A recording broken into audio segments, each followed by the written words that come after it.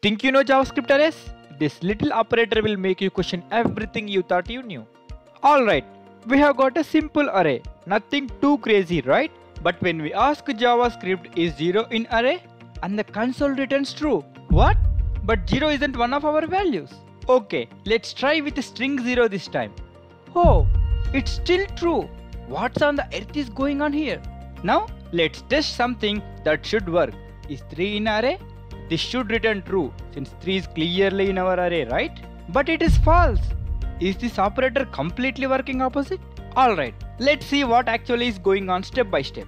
In JavaScript arrays are objects and the in operator it doesn't check for array values like 1, 2, 3. It checks for keys. When we create an array, JavaScript actually treats it like an object with string keys. So, either number 0 or string 0 in array returns true because 0 is a valid property key. But since there is no property key named 3 in our array, the last one returns false.